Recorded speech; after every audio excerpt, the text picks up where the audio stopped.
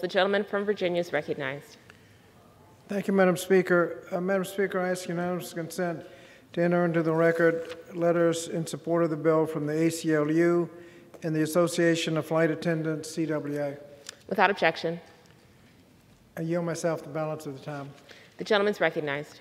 Thank you, Madam Speaker. And it has uh, now been more than a decade since Congress passed critical protections to guarantee nursing workers break time and private space to express, uh, to express uh, breast milk at work. As we've heard today from members on both sides of the aisle, these protections are essential to protecting the health of nursing workers and their families. Yet nursing workers are continuing to suffer from gaps and weaknesses in the federal law. The need to address these gaps is even greater today as our economy recovers from COVID 19. Millions of workers, particularly working mothers, are looking to re enter the workforce after being forced out of their jobs during the pandemic. The Pump for Nursing Mothers Act would provide workers with the peace of mind that they will not have to choose between returning to work and protecting themselves and their babies. Madam Speaker, we have an opportunity to deliver on our promise to help all workers recover from the pandemic, stay safe, and succeed in their careers. This legislation will strengthen existing law, improve the lives of nursing workers across the country, and help our economy get back on its feet.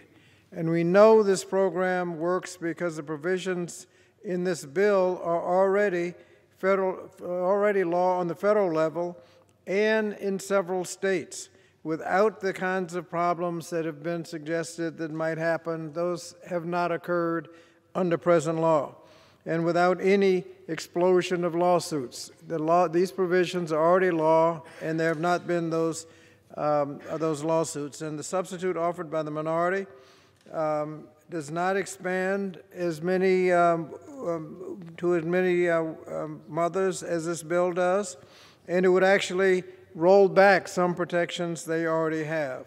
So I want to thank the gentlelady from New York, Ms. Maloney, the gentlelady from Washington State, Ms. Herrera Beutler, for their leadership in this bipartisan legislation. And I urge my colleagues to support the Pump for Nursing Mothers Act and yield back the balance of my time.